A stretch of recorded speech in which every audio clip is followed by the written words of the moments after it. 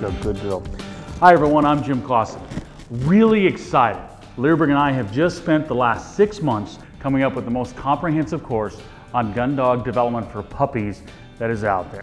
In this course, we're gonna teach you how to introduce your puppy to water, how to introduce your puppy to birds, how to introduce your puppy to the gun.